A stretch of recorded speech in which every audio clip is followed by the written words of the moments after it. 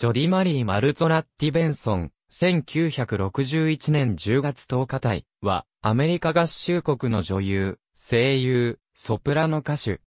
ディズニー映画、リトル・マーメイドの主人公、アリエル役を1989年の映画公開から現在に至るまで担当。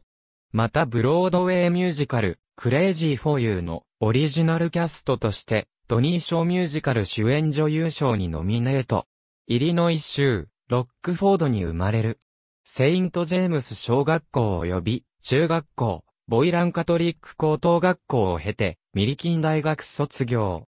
大学では、当初、法学を専攻していたが、後に、ミュージカル演劇の BFA 取得プログラムに転校。1984年に、俳優レイ・ベンソンと結婚、ジョジ・デラニーと、ダンジ・マッキンリーを設ける。大学2年のクリスマス休暇に受験したブロードウェイミュージカルのオーディションに合格したのを契機にミュージカル女優の道へ進む。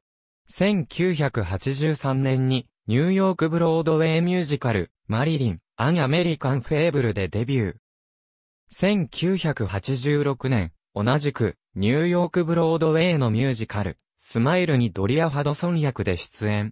この中で、後に、リトル・マーメイドでも提携するハワード・アシュマン作詞のディズニーランドをソロで歌う。この舞台出演がきっかけで、ディズニーファンの間で名が知られるようになる。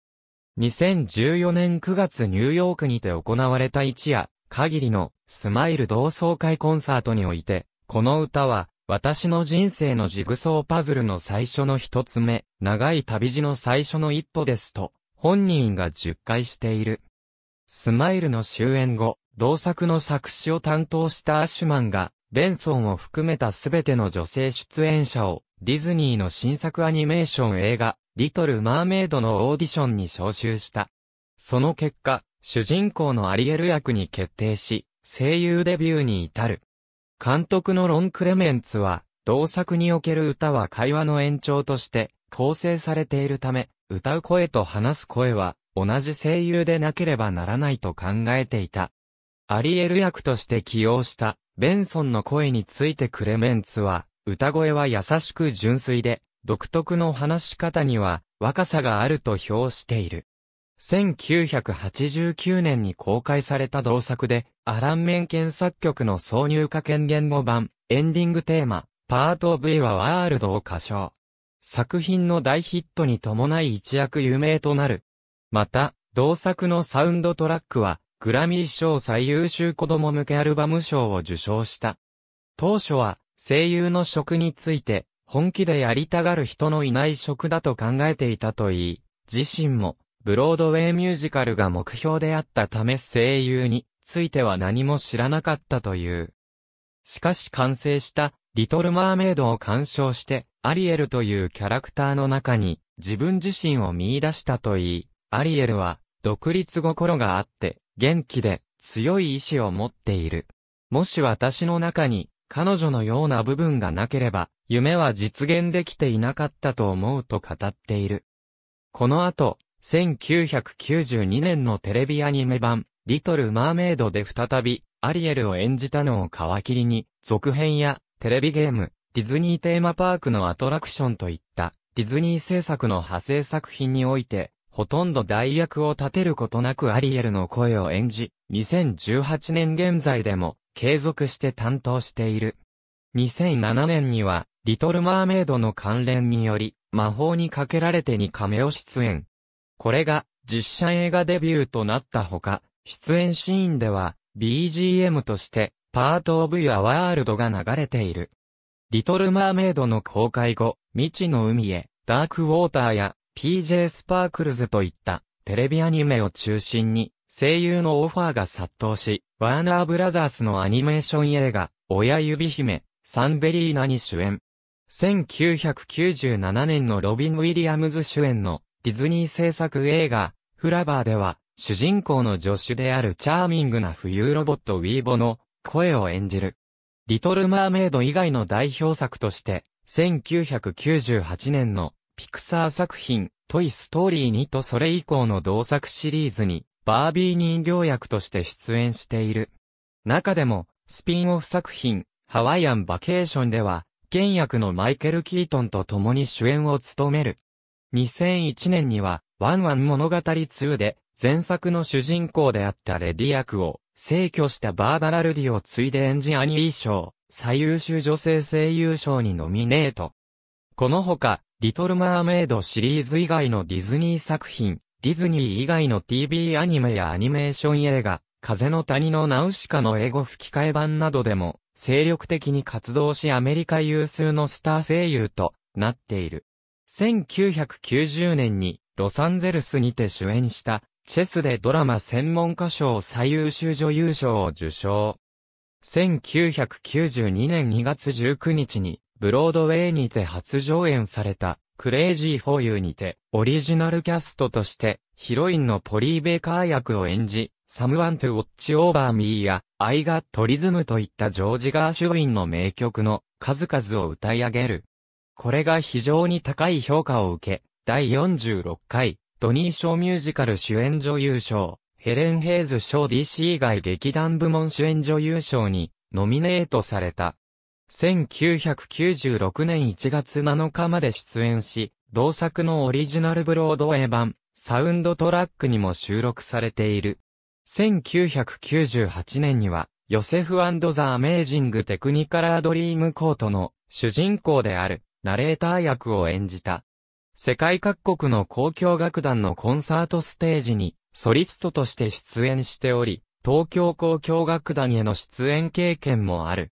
他に共演した主な交響楽団は以下の通り。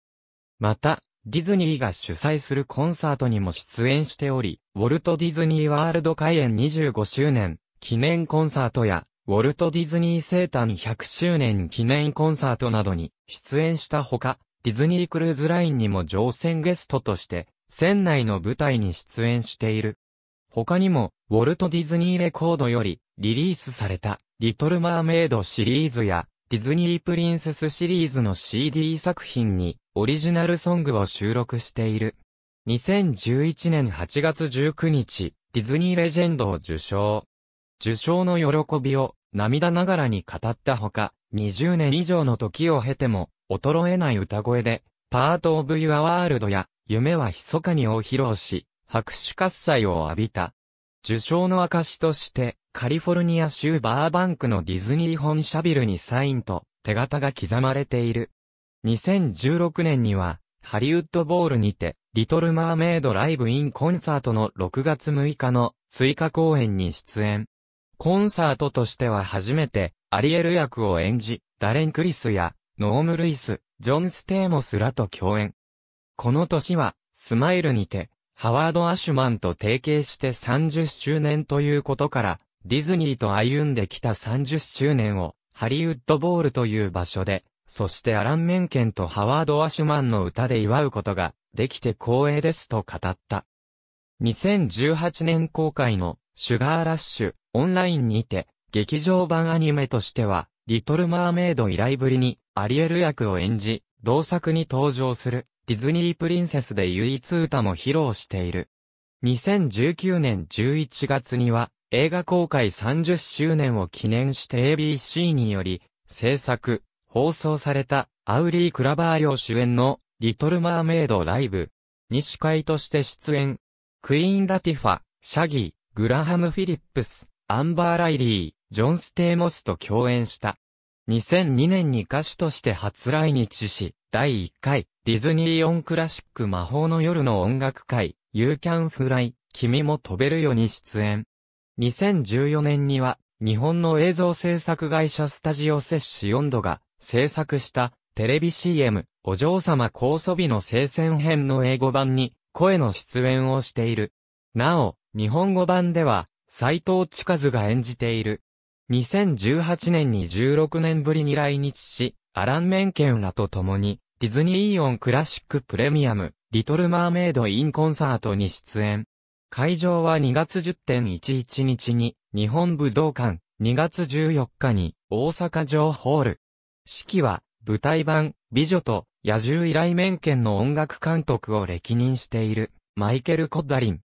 高畑光希、井上義雄、斎藤真二、岡幸次郎、マルシア、クレバと共演し、コンサートのフィナーレで、パートオブ・ユア・ワールドを披露した。リトル・マーメイドが実写化されるにあたり、アリエル役に黒人歌手のハリー・ベイリーが起用されたことに対して、ツイッターなどで批判の声が上がった際には、フロリダで開催されたギークイベント、フロリダスーパーコンに出演し、アリエル役に必要なものは、外見ではなく魂であることを、以下のように語り、ベイリーへの支持を表明した。本当に、重要なのは、キャラクターの魂だと思います。外見は、現実に向き合いましょう。私はかなり年をとっています。私が、パートオブユアワールドを歌うとき、もしあなたが私の外見で判断するならば、曲の解釈の仕方が変わるかもしれません。でも目を閉じれば、今でもアリエルの魂を聞くことができます。映画にとって最も重要なのは物語を語る能力です。私たちはストーリーテラーになる必要があります。外見、人種、出身国、肌の色、方言、身長、体型は関係ありません。私はディズニーがストーリーテリングを大切にしていることを知っています。それこそ、彼らが一生懸命やろうとしていること。彼らは観客全員とコミュニケーションを取ろうとしていて、だからこそ、私たちはその映画と再び恋に落ちることができるのです。このスピーチは観客から拍手喝采を受け、各米メディアで大きく報じられた。以下は、年代不明他多数インタビュー記事 http blogs Disney .com insider articles 2013 09 30 An Interview with Jodie Benson Voice of アリエルディズニープリンセスとアナと雪の女王10 6P41 ディズニーレジェンドジョディ・ベンソン https コロンスラッシュスラッシュ d23.com スラッシュ jodi-benson スラッシュ abhttps オミディズニー .com ニュース2016 04 25ジョディ・ベンソンツーリプリーズハーロールアズアリエル・イン・アディショナル・パフォーマンス・オブ・ザ・リトルマーメイド・ライブ・イン・コンサート http コロンスラッシュスラッシュ www.harmonyjapan.com スラッシュ doc2014 スラッシュアバウトハットスタジオセッションドワークスお嬢様酵素 CMHTTP コロンスラッシュスラッシュ www.studio4c.co.jp スラッシュ works スラッシュ pages スラッシュ 34.html ハットリトルマーメイド in concert。https コロンスラッシュスラッシュ www.disney.co.jp スラッシュ eventlive スラッシュ mermaid ダッシュ concert.html ハット。リトルマーメイド声優実写版黒人アリエルを支持 https コロンスラッシュスラッシュ www.cinematoday.jp スラッシュニューススラッシュ N01098551 リトルマーメイド元祖アリエル役物議醸す実写版のキャスティングに言及 https コロンスラッシュスラッシュ front-row.jp スラッシュカラット1728万6388アニメ版。リトルマーメイドの声優。ハリー・ベイリーに。LHTTPS www.l.com JP カルチャー。セレブゴシップ。A2835 万5272リトルマーメイドマイナス19万711ディズニーリリーシーズ。ディズニープリンセス。チャームドアドベンチャーズ http www.laughingplace.com w ニュース2016 09 22ディズニーリリーシズディズニープリンセスチャームドアドベンチャーズありがとうございます。